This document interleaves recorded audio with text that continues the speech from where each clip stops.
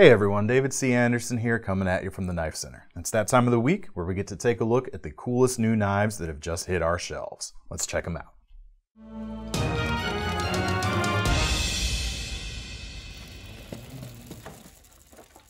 All right, before I get into what's on the table in front of me right now, we're actually going to go back in time just a few weeks. Uh, you may remember there were a few weeks ago, I actually had to blur some knives out of our presentation.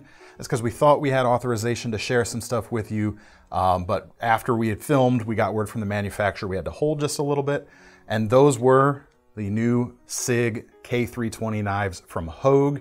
Uh, so rather than me uh, redoing my, my spiel on them right now, we're gonna do a quick rewind and you can check out uh, that presentation. So the mystery's over, check these out. Uh, we actually debuted, or had the chance to debut, in our Blade Show Week coverage with Hogue, and that's the new SIG K320 line of knives. Now, when we shot that video, we didn't actually have the samples in front of us, but Hogue were real, uh, real kind enough to actually send us a few pieces to take a look at. And so I'm really happy to get my hands on these and actually get a real first-hand impression because I really liked what I saw in those videos, and that's only been increased now that I've actually seen the knives in person. We've actually got two versions of this knife, um, or two, uh, two main versions with a bunch of different configurations. I think there's gonna be about 10. Uh, but we've got an automatic lock version, push button uh, with a side open action, as well as an able lock version. The able lock, of course, is their competitor to the Axis lock, and it is a crossbar locking system. You've got that nice ambidextrous crossbar running through both sides of the handle, so lefties or righties can use it just as well or just as easily. And the other thing that's really nice that um, I actually can't think of any other example I've seen uh, of a crossbar locking knife that has a four position pocket clip. Uh, most of them, the way they're built, if you were to put the pocket clip, clip up near the top, it would actually get in the way of the lock. But they've positioned it in such a way here where you can get tip up or tip down on either side very nicely. And that pocket clip itself is very nice too. It's nice and deep carry, uh, and it should be in any of the four positions. I actually haven't moved it around, but judging by the positions of the holes, on any position you put it in, it is gonna be nice and deep carry. They've also got a few ridges essentially pushed into the front of the clip as well and that's gonna give you some extra, uh, extra grip on your finger when you go to pull the knife out of the pocket, make it very easy to access in no time at all. But actually, I'm getting a little bit ahead of myself on the, uh, the fine details. Let me pull back just a second. Uh, the K320 series as a whole was designed to match the P320 pistols from Sig Sauer. So you've got similar, or uh, actually uh, identical colors and finishes on these knives as you do on the pistol, because of course Hogue is working on those pistols, uh, the grips as well, in addition to making these licensed knives for them. This one's the Coyote finish, and that's on the handle and the blade. And that blade itself is S30V stainless steel with uh, just under three and a half inches of length to it. And in my opinion, an absolutely phenomenal blade shape for just pretty much any use out there. Obviously, these are tactically inspired knives, but this is gonna be a great blade shape for outdoor, everyday carry, uh, even hunting and food prep if you wanted to get into that sort of thing. Now, there is gonna be a plain edge version. This version, of course, you can see has a, uh, a partially serrated combo edge here at the back. Uh, that plain edge version is gonna be all blacked out, uh, black blade, which I believe is a PVD coated finish and a black handle. And they're gonna start at a really good price, uh, just about 127.50 or just under that made in the USA, which is pretty great in my opinion. Now that puts it just a few bucks more than a, uh, a similarly coated blade version of the Benchmade Griptilian, which I see this as a pretty natural competitor to. Uh, at this point, you're not going to be able to get a, uh, an uncoated or a stone washed or satin blade like you can with the Griptilian, and those will be a little bit cheaper. But these are pretty competitively priced, and in my opinion, I mean, Benchmade's got a great axis lock, but the Able lock is currently my personal favorite of the crossbar locks on the market today. There's just sort of a precision and an almost luxury feel to Hogue's execution of this lock uh, that's even better than what everyone else is doing. Again, not to put those down, I just really love Hogue's version. In addition to that Able crossbar lock, you also have that push button automatic, as I mentioned. Here is the Tanto blade shape, which again is gonna come uh, in a few different colors as well as with or without that combo edge. Let me fold that up. You do have that secondary safety there. There's no red indicator. You just have to get used to it. Pull the safety back, push the button. The action's really good. And then unlike some of their, uh, their button lock flippers, you can actually use that, uh, that secondary safety both in the open and closed position. In some of those button locks, it only works in the, uh, in the open position, I believe. There's a good amount of handle length to these. I've got all four of my fingers on the main section of the grip, and of course, as you folks know, do have slightly larger than average hands. But we've also got that finger choil here, which you're not gonna get on something like the Griptilian. And that's part of the reason you see this little hump here at the back of the edge. They didn't want to sharpen that edge all the way through so that when you choke up, you're not going to be uh, kind of getting bit by the sharp edge itself. Just a little extra degree of safety there, which is nice. In those auto versions, there's not even that much of a premium over the manual versions too. Those are starting at under 145. All right, first one up this week, we've got a special edition cold steel. This is their Gunsite folder, uh, which has been upgraded uh, Got a few different things going on. This comes in at just over 110 right now. Blade on this is a, uh, a dagger style profile, as you can see, uh, but no uh, sharpened top edge. It says single edge only with a, uh, well, technically multiple edges because it's combo edge. You've got uh, all the serrations down there. Uh, but the blade itself, about 3.8 inches, AUS 10. So a uh, definite bump up over stuff like AUS 8. Should put it somewhere uh, similar to 154cm, VG10, stuff like that. Just a good premium non-powder metallurgy stainless. They've spiced it up a little bit. We've got some file work here on the spine. Probably not actual files did the work. It's probably machine done, but it looks really cool. And of course you got the dual thumb stud there as well. The handle on these are pretty comfortable, I gotta say. Uh, that's partly due to the fatness and the fact that they've rounded them over quite nicely. Uh, the only potential hot spot, so to speak, would be the uh, finger holes here, or eh, I guess I shouldn't call them finger holes, uh, even though my fingers do kind of rest there. But they're more for traction, uh, and this is especially going to be true if you're wearing like a combat glove or something like that. It's going to give you a little bit of extra grip, even beyond like the orange peel texture that, that's on these green handles here. Now the handles here are Griv-Ex, and they do keep the weight down a little bit. Um, not a featherweight, this is uh, about 4.8 ounces, so just under five. But given the size of the knife, that's not that bad. It really does feel, uh, or it's a little bit lighter than you might expect when you pick it up. So it's gonna be pretty easy to carry, but despite that lightweight, still got a nice strong lock here because you do have, uh, well, you do have the Tri-Ad lock, of course, and that's backed up by dual liners uh, that are skeletonized and inset, uh, but they are full length other than that. So you've got a lot of uh, a lot of durability built into that right here. So you really can press this knife to some harder uses. All right, next up, we're gonna go a bit more premium EDC with a new knife from Reate. This is the Coyote. Comes in about 350 right now. This is an Emmanuel Lebrun design, and it's really nice. Some really good lines going on here. And of course, being a Reate, they're put together pretty impeccably. Blade, really cool shape. You got these this nice upswept clip point with a bit of recurve, very distinctive shape. Still gonna be pretty useful though, I gotta say. Three and a quarter inches long, M390 steel, two-tone satin finish looks really good and going to perform quite nicely, I think. The handles, you've got inlays on both sides. Two different versions of carbon fiber are available. They're both the same price. This is the uh, wave carbon fiber, uh, and it's more of a layered rather than a woven carbon fiber. Feels really smooth and really nice in the hand. The whole knife feels nice in the hand actually, and that's because they've contoured each side or, or radiused the whole side. These aren't flat slabs. You've got something there for your hands to actually wrap around rather than just kind of gorilla grip onto. But even when you do put it in a heavy grip, it feels really nice. It's a good size too. It's not too big uh, like some of these high-end uh, flipper uh, pocket flippers tend to get, but it's not a mini version either. It's kind of somewhere in between, uh, but I think it's just about the perfect size for this knife. All right, let's keep with the, uh, the high-end EDC theme. I've got something controversial here, I can just tell already. Uh, it's a new utility knife from Custom Knife Factory. This is called the Kanza, or the Kanza. Just under 200 bucks for this thing, which is a lot, I got to admit. But as far as these retractable, or retractable, retractable utility knives go, it's probably one of the nicer ones I've felt. The handles are titanium, two-piece in design, and like that Reate, they've, uh, they're not just flat slabs. They are contoured over so that I hate to say it, it does feel actually kind of comfortable, which is pretty cool. These do take just your standard utility blade. You've got a couple of different lengths. You can have just the tip sticking out or pull it out a little farther for your, uh, you know, your more heavier duty cuts that you're gonna need to use. Flip it around for a fresh edge or just replace it. These things can be a little nice because they don't, they definitely don't scream pocket knife.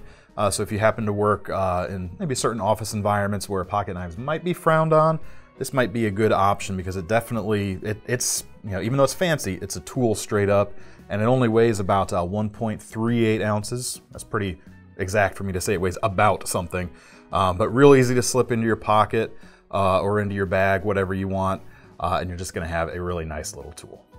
All right, next up, I've actually got a new pen or a actual pen flashlight combo from Olight. This is called the O'Pen 2. Now, I've seen some pen and tool or uh, pen and flashlight combos before, uh, and a lot of times, you know, they may come across a little gimmicky, but being that this is made by Olight, definitely not a gimmick. You know, their stuff is fantastic. I carry an Olight every day. Their machining is really good, and they really think out their designs very well. So they didn't uh, just create this for the sake of it, they actually put some good thought into this O'Pen. Now the barrel actually, uh, it's kind of two different sections. You've got the pen section down here with a nice bolt action, and it has a, uh, a small rollerball refill in there. I'm not sure the exact uh, size at the moment, but the action's really good. It feels good in the hand. It's nice and balanced. You've got a little bit of a twist milling on the barrel right there to give you a little, bit, a little bit of grip to that section. And then on the back, you have the flashlight section. It's actuated from the top and it's a side-facing LED. Uh, max lumens on these are 120, uh, but it has three levels and it has a momentary on. If you just hold the or hold the button down, click the button down, and you get uh, I think it's the low, but then hold it down again. You can cycle through the modes, or you can double click to get the high mode uh, right off the bat. What's nice about this too is it's, uh, like I said, it's a two-piece design. You can unscrew this here and have the two pieces separate, which I really like. Um, it actually works to the benefit of this pen format because of the way that pocket clip works. You can actually clip this to your collar or maybe a, a you know a breast pocket or something like that and have the light give you some kind of area illumination if you're working on something in the dark. Um, so that, that's what I mean. That's one of those non-gimmicky things. They really thought out how you would uh, use this thing and how it might work differently than just a standard flashlight. And then right here on the bottom, there's a USB-C port where you can recharge it. They are pretty cool, I must say, and they come in decently priced too. Um, 50 bucks. Uh, so yeah, not bad for a premium pen and flashlight all in one price. All right, next up, I've got a bunch of Civivi actually. We might as well call this Civivi week. Um, it's kind of funny because We Knife is the parent company of Civivi, so Civivi Week, whatever. Uh, first up, though, I have got the Odium, which is a Ferrum Forge collaboration. Uh, and we've had this for a little bit, but our first batch came and went so fast because you guys have loved this, but we've got more in now. Few different colors. Uh, they come in, or they start at just over 50 bucks right now. 2.6 inch blade, or uh, 2.65 D2, and you know, if you know anything about Ferrum Forge, you can definitely tell this is one of their designs right off the bat. But yeah, D2 blade steel, nice little length, under three inches, so you can take it just about anywhere. You can open it with the thumb cut out here. Let's see. Now, you know I suck at the middle finger flick. Can, I kind of have to open it a little bit of the ways, then I can flick it the rest of the way. But you could thumb open it, or you could flipper open it, because of course, ball bearings in the pivot, just like every other, well, just like most other Civivi knives out there.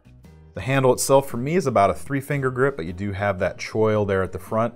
It's pretty decently sized. Even for my larger fingers, I think it works pretty well for me. G10 does have a nice little bit of contour to it, and of course you've got that pocket clip there, uh, folded over but not quite deep carry, and that is reversible to either side of the knife.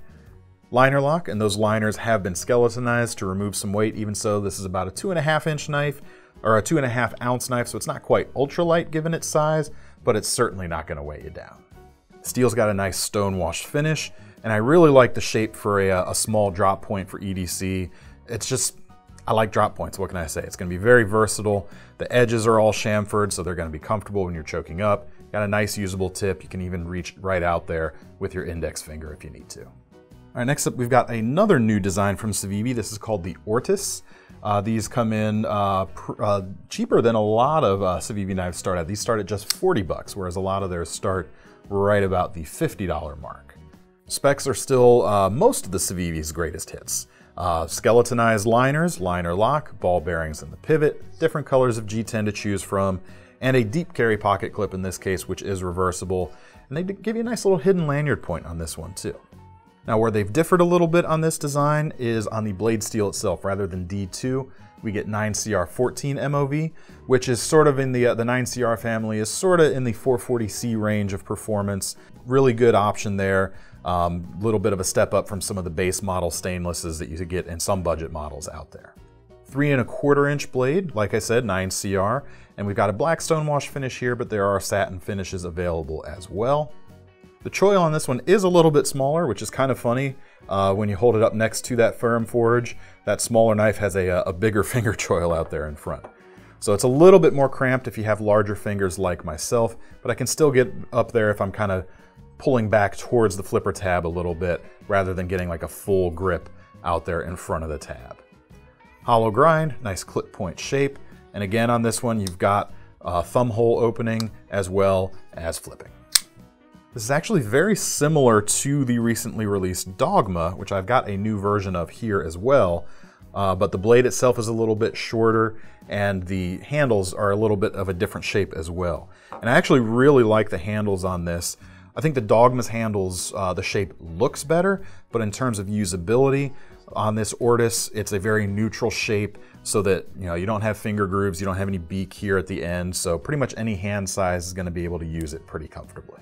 Now on to that Dogma I just showed you. Uh, new version, they've actually gone uh, and done, uh, in addition to kind of spicing up the handles, they've changed the blade up just a little bit from the previous versions of the Dogma, which actually had a blade cutout similar to that Ortis. But this new one, rather than a blade cutout, you get dual fullers on each side of the knife. Now there's a few different versions of this new Dogma. This particular one's about 80 bucks, and you've got a Damascus blade, and they do use 9CR uh, steel as the base for their Damascus, so you're still getting some decent performance there.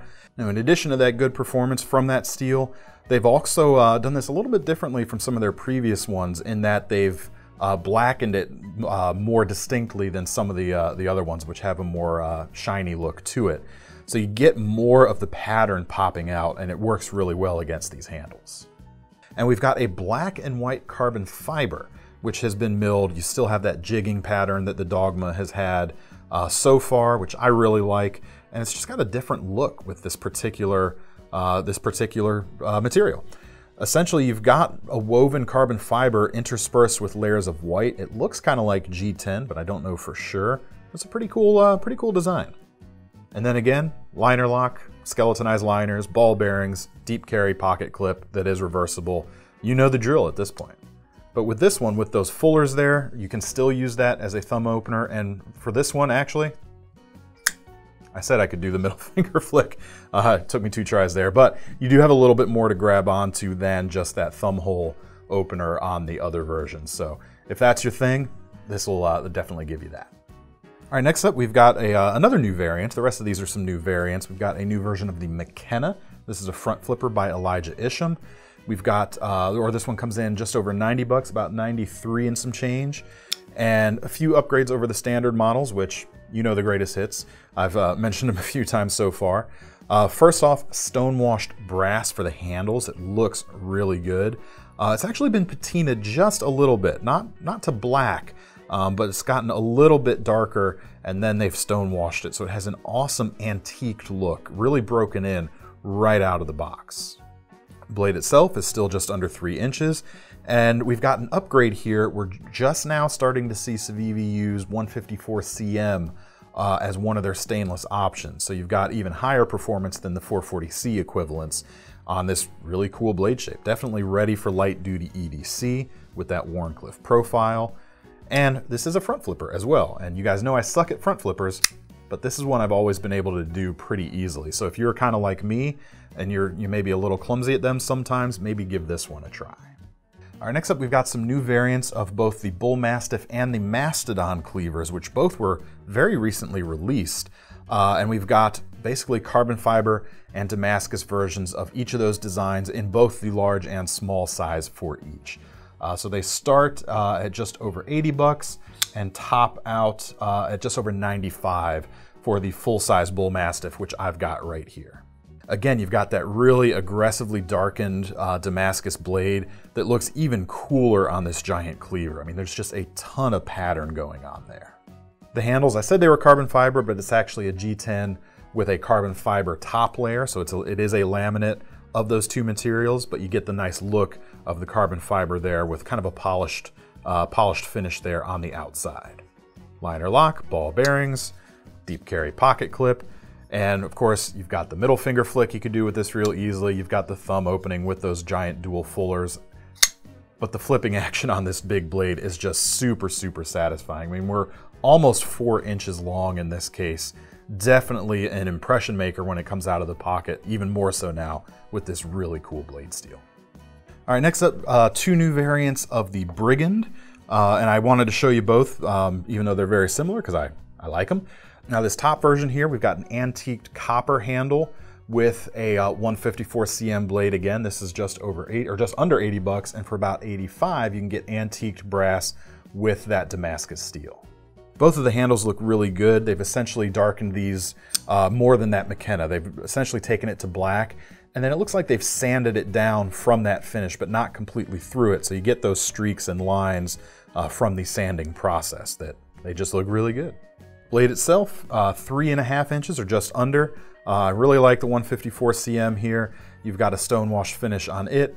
And I, I kind of like to call this a worn clip profile or a sheep's clip profile because they've kind of, it's kind of like those blade shapes, but they've clipped the front leading edge rather than just swooped it down. Uh, but definitely a great utility shape. Slightly larger finger choil, uh, about the same size as that Odium finger choil, so I can still get a pretty good grip up on there. And as with all of these Civivis, they do a really good job with the edge geometry, keeping the edge itself very thin and nice and sharp. That's definitely the case here. Um, it's just, you know, I'm always impressed with what they're able to do. High flat grind, nice swedge along the back, so you've got that uh, piece of, of drag removed, so you can go through materials quite efficiently, and there's a lot of power in this blade shape. All right, enough with the Civivi for this week. Let's get to some outdoor stuff.